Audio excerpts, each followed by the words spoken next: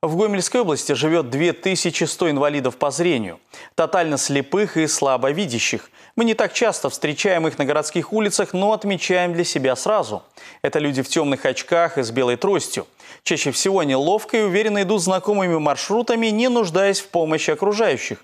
Они изучают мир на ощупь. В Беларуси закончился месячник «Человек с белой тростью». В этом году его посвятили финансовой грамотности, о новых возможностях слепых людей, об их талантах, о том, чему они сами могут научить других. Сюжет Марины Джалой.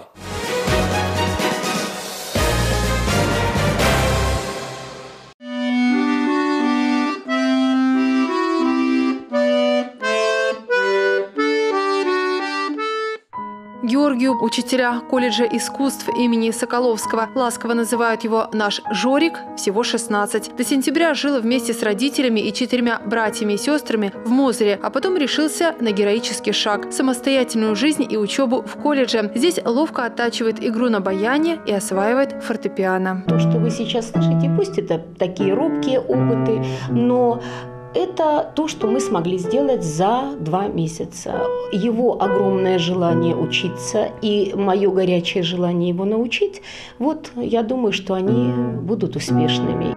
Георгий вспоминает, сначала трудно было привыкать к новой жизни. Иногда очень тянуло вернуться домой. Тогда делал паузу и повторял. Начал дело, нельзя останавливаться на пути к своей цели. К слову о пути. Живет Георгий в общежитии, причем один в комнате. И каждый день самостоятельно ходит на учебу и обратно. Но это далеко не все, чему научился парень за те два месяца самостоятельной жизни. Планую отпрацаваць, э, вернуться я мэтавік, у меня мэтавы накірунак, э, вернуться до себе ў горад, отпрацаваць у школе як наставник. А далей у меня есть идея, я хочу стварыць свой рок-бенд.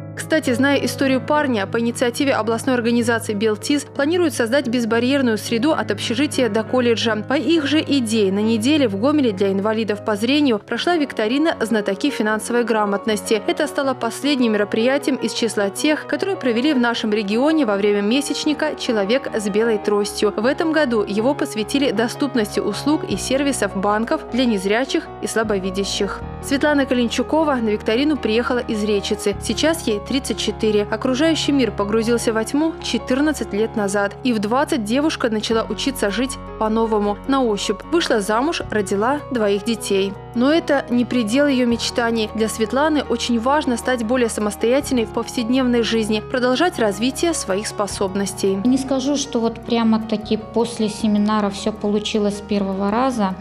Я приехала домой. Э, благо, что нам на семинаре раздали руководство по Брайлю. Опять-таки, я делаю на этом большой акцент. Мне это очень помогает. И я пошагово по этому руководству первый раз э, делала вот первые шаги в оплате. С первого раза ничего не получилось. Я еще раз заново прошла тот же путь. И когда где-то среди ночи у меня получился этот платеж, я прямо, я не знаю, я подскочила, кричу, муж, Эврика, вставай, у меня все получилось. Работа с представителями банков проходила в несколько этапов. Сначала, еще в сентябре, провели семинар по управлению личными финансами. Участники осваивали навыки пользования мобильным банкингом. Незрячие и слабовидящие люди узнали о функционале этого мобильного приложения, об удобстве безналичных платежей и о том, как стать пользователем дистанционных услуг. Потом прошел трехдневный тренинг. Как результат, инвалиды по зрению, благодаря адаптированному именно для них приложению для смартфона, научились платить за интернет-услуги самостоятельно действительно, значит, молодцы, и что они э, смогли беспрепятственно выполнять все те указания, которые э, говорили э, банковские работники. Я думаю, что и будем с ними продолжать работать. И все эти новшества, которые будут происходить в нашем государстве, я думаю, что мы не будем тормозить, а мы только будем идти вперед в ногу со временем.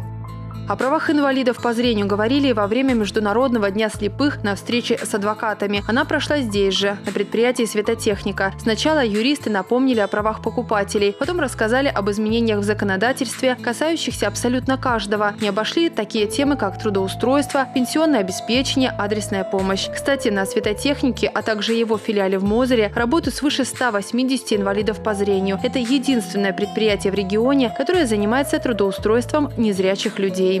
Еще в начале диалога от адвокатов прозвучала фраза, которая заставила глубоко задуматься. Инвалиды сами кого хочешь научат. Вскоре мы в этом убедились сами, познакомившись с очень обаятельным парнем, поэтом Владимиром Череухиным. Здесь, на предприятии «Светотехника», он почти год работает инструктором-методистом по социально-трудовой реабилитации инвалидов по зрению. За это время его подопечными были около 20 человек. Кто-то хотел научиться пользоваться смартфоном, другим надо было овладеть работой за ноутбуком. Обращались и за психологической помощью, ведь Владимир имеет соответствующую специальность. Сколько времени нужно, чтобы человек овладел работой? Я думаю, что от полового года до двох, я так міркую, тому що так просто сходу не хапають, особливо люди, які старішого зросту. Молодого легше, звісно, тут. Тут у мене є, наприклад, е, хлопець подопічний, якому 15 років. Ну йому амальше нічого тлумачити не треба. Показав, він тут чого хапів. А чоловіку, якому там за 60, наприклад, е, є більш таке стали, користальники, так, а є чоловік, якому треба раз за разом одні і ті ж самі навики відпрацьовувати, аби замацювалися. Вы занимаетесь индивидуально, да. Звісно, кожен рухається зі своєю худкістю. Кроме консультаций специалистов, инвалиды по зрению сами находят для себя нужную информацию в библиотеке предприятия. Тут оборудован уголок с компьютерами, которые имеют специальные программы. Здесь же гордость библиотеки – электронная лупа. Благодаря этому прибору слабовидящие люди могут читать. На полках книги со шрифтом Брайля. Но жизнь, она и за пределами предприятия. И тут незрячим гомельчанам также нужна поддержка. Заходя в автобус, переходя дорогу, не мешает замедлить шаг и осмотреться. Может быть, рядом есть тот, кому необходима помощь. Неравнодушие и свет наших сердец могут озарить путь для людей с белой тростью. Марина Джала, Игорь Марищенко, Валерий Гапанько. Новости недели.